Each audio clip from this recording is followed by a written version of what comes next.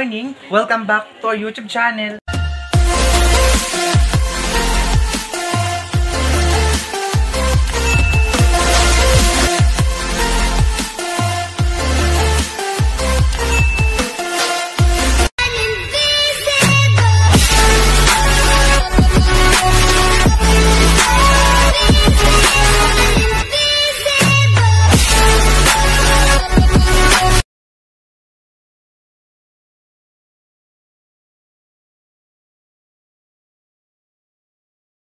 This video sa mga bago pa sa akin channel, please po kalimutan mag-subscribe at ang notification bell para ma-update ko kayo sa aking mga videos and don't forget to like, share, and comment guys. So maraming maraming salamat po.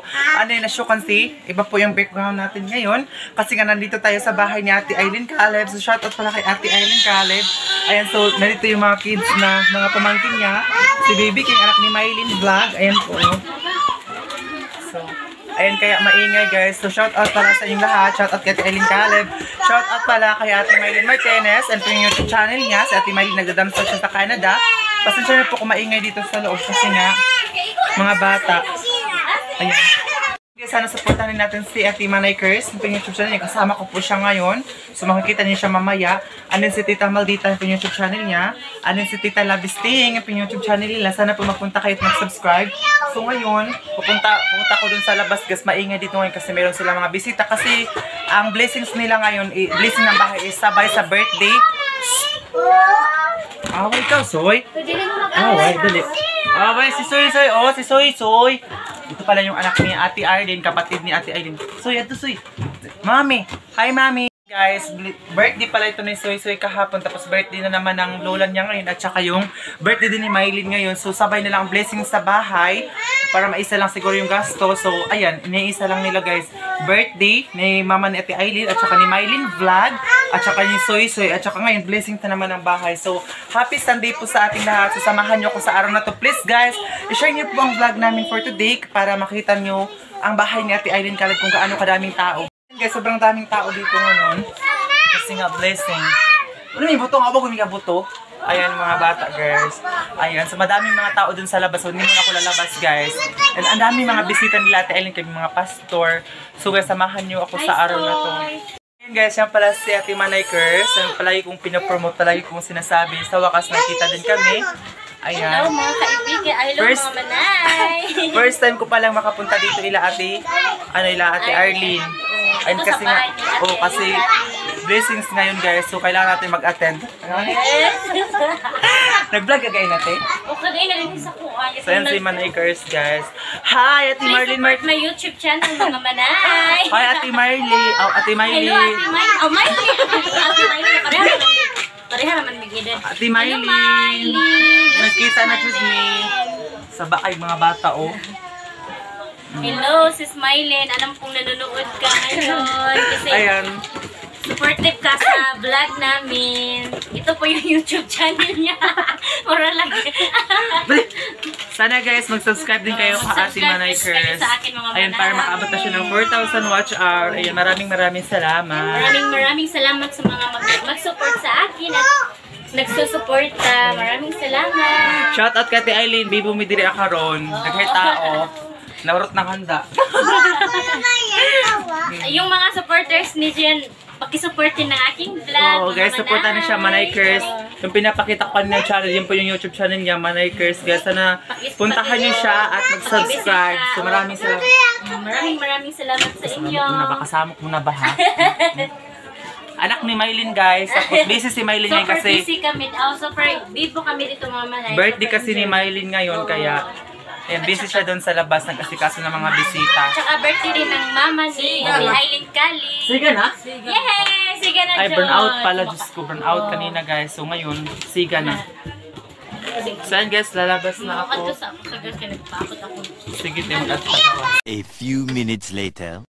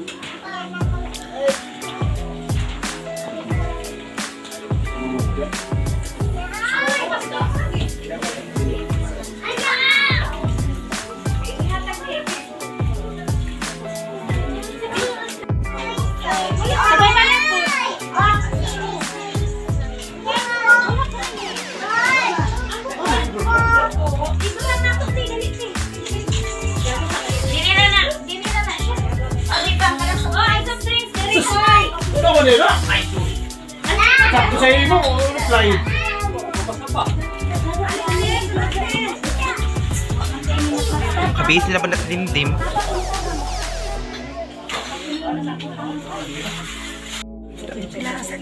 Sa mga pinaba. Eh, murag, murag natay. Pagkalat ng.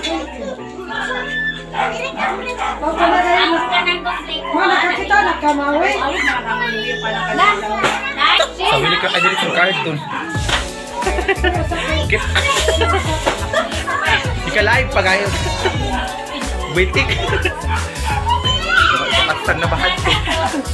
Di kalat na ba gabay? Kapatag na. Ito na yung strategy mo doon.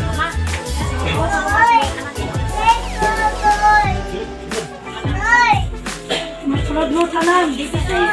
Sunod na lang. is this uh, great significance sa Ginoo the moment we bless something and we offer something to God God will honor everything ato ang ginahatag sa iya so walay dugay-dugay uh, mag magduot ta sa tong ulo magampot sa pulong sa Ginoo Heavenly Father we bless you thank you God for this time na mo gihatag ka namo. Diin uh, mag-blessing kami sa balay o mag-celebrate sa adang natawhan o God Lord. Di uh, ante Ginoong Dios uh, ikaw magapanalangin. Ibig sa anak ni Ma'am Oga Arlene Ginoo ikaw magapanalangin kanila kanamong tanan o God ibig sa mga maminaw ibig sa mga nakakaroon diri ah.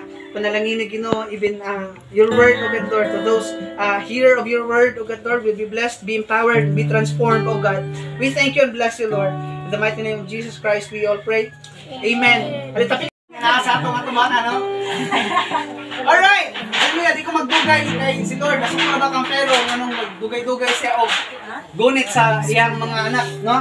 Ah, alright. Ah, I will be telling right now the story gikan sa Genesis chapter 13, verse 9. Ah, magsugod.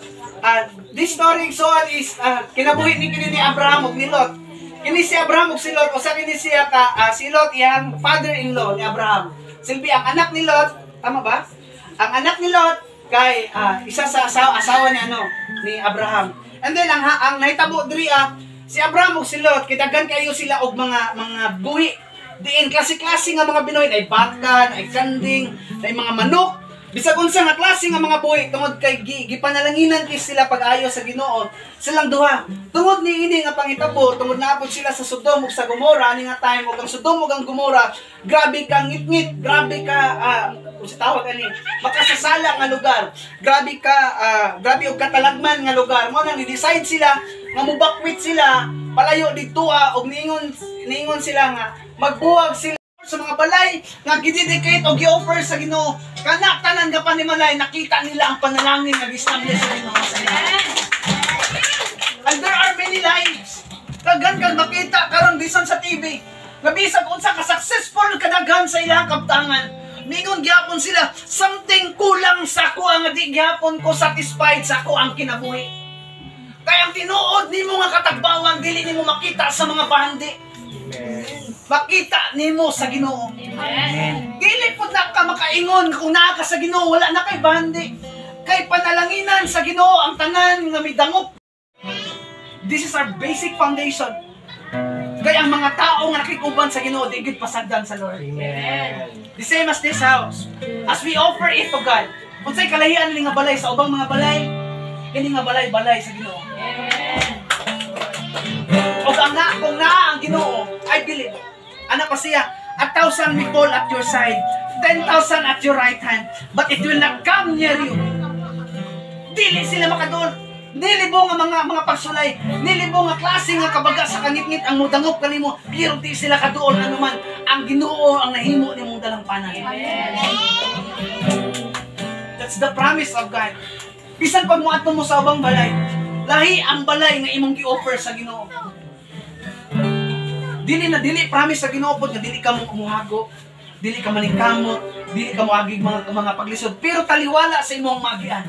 Makita nimo ang mga paghanay sa Ginoo padulong sa imong kadaugan. Listen to the music. Listen to what I say. We would like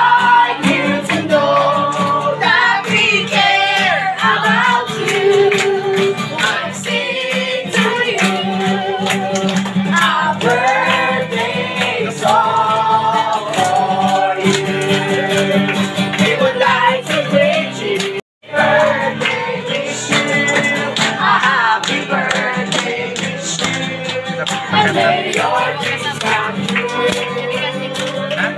Not to early.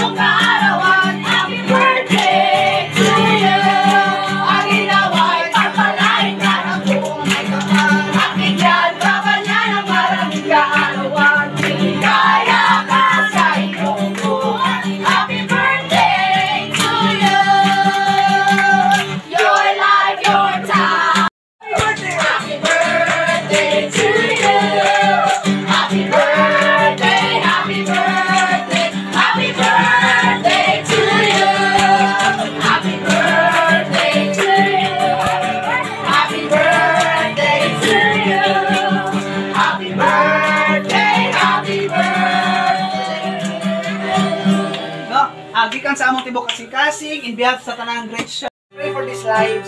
Come on, declare blessing. Declare the abundance of God. Declare, hallelujah. Lagi na yung blessings of heaven. The, the Lord will open the floodgates of heaven.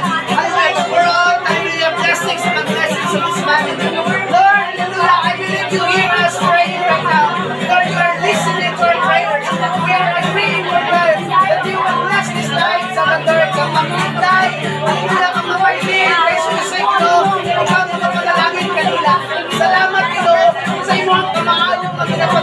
ka namo kanunay sa mo ang ginagawa. Ilo, Diyos,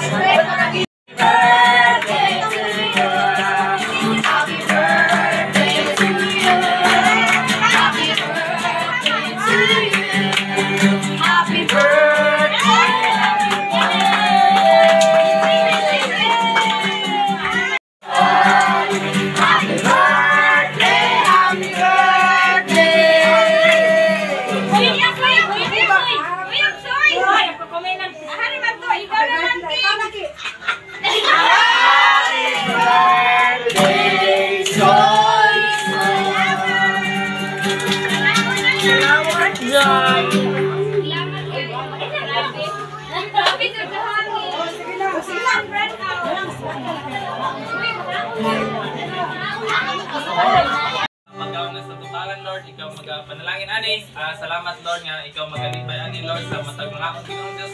Bituan Lord, ikaw ang maga multiply ani o God. Salamat God sa imong tapuay sa kinabuhi dugi man sa imong ngalan. In Jesus' name.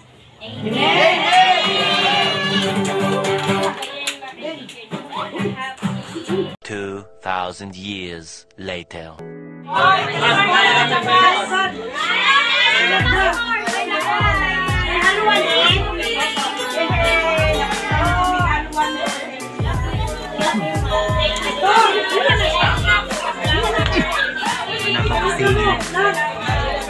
thousand years later.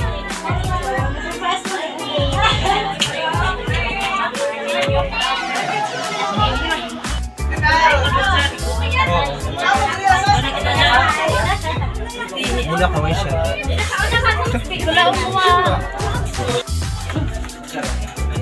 Sunod drama kayo. Pinaguot na ba? Pinaguot na nagiti. Di, diri, ano na? Di, ate, ate, diri na.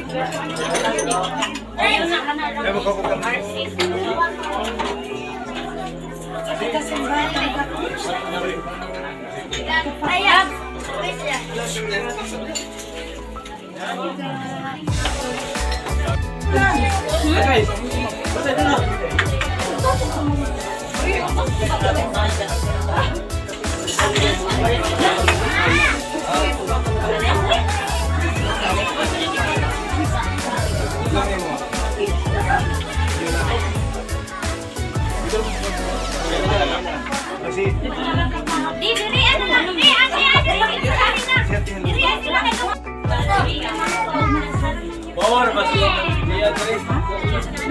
Bawal kay ko, mo.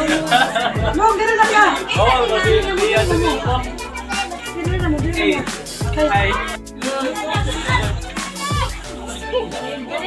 Kanina, kani, oh, kaning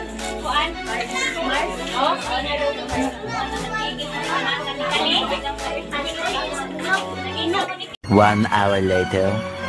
Everyone. So, ayan, tapos na po ang ano, celebration kanina. So, wala nang mga bisita. Ayan. Umalis na yung mga bisita, guys. So, ngayon, kami na lang po at saka yung family nila at Aileen Caleb doon sa loob. Pero doon busy sila, nagwalis-walis kasi nga, ma, ano, nakadalas na dito. A few minutes later. Hi everyone! So, ayan, nandito na ako ngayon sa terminal. So, nakikita niyo na kanina yung blessings sa bahay natin Aileen Caleb. So, napakaingay dito ngayon guys. Kasi, hapon na, papauwi na rin ako. Hindi ko nga natapos yung vlog ko kanina sa bahay natin Aileen Caleb. Ayan. Sobrang ingay ngayon dito guys. Nandito na ako ngayon sa terminal. So, maraming maraming salamat guys sa mga nanonood sa akin. Sobrang happy. At saka sobrang busog ako doon sa bahay ni Ate Aileen na bago. So, congratulations pala kay Ate Aileen Caleb. Meron na siyang new house. Naka, naka-blessings na guys. At saka birthday din ng mama niya. At saka ni Mylene Vlog. So, panoorin niyo muna itong vlog ko dito sa terminal.